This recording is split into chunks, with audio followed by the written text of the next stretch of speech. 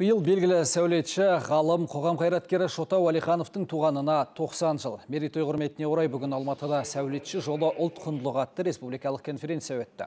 Шараға қоғам қайраткерлері мен зиялы қауым өкілдері Шота Адырсұлының жақындары мен замандастары қатысып, баяндама оқыды.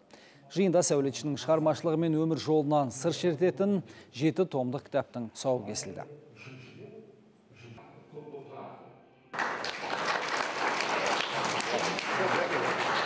Шот ағамыздың марқұм шот ағамыздың ерекшеліктері ол кісі сондай бір требовательный адам болатын жұмысқа екі монументальды жұмыс істеді біреуі анау ерейментаудағы көкшетаудың ерейментау қаласына бөгенбай батырдың ескерткішін салдық екінші жұмысымыз мына семейдегі шәкәрім атамызға ескерткіш Шота Адырысұлы еліміздің басты символы мемлекеттік елтаңбаның Алматыдағы тәуелсіздік монументінің авторы.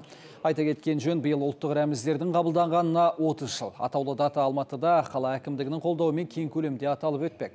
Бүгінгі республикалық конференцияда осы мерейлі мерекеге орай ұйымдастырылды. Шотаман Адырысұлы елтаңбаның алғашқы нұсқасын алдымен маған ұсынып еді. Өзіме көрсетіп, менің ойымды сұрап ақылдасты. Мен ол кезде ғарышқа ұшуға дайындалып жүргенмін. Сол күйі ол суретті мен өзіммен бірге ғарышқа әкеттім. Қазір менде әлі күнге дейін сақтаулы. Міне сол бейне қазір біздің елдігімізді танытатын айрықша белгіге айналды.